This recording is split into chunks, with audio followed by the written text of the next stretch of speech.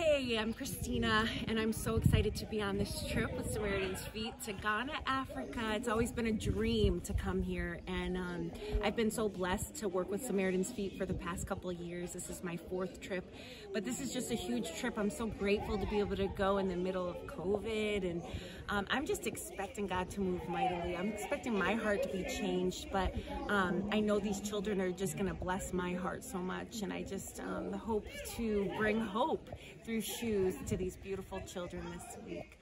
Um, God bless you and thank you so much for the opportunity.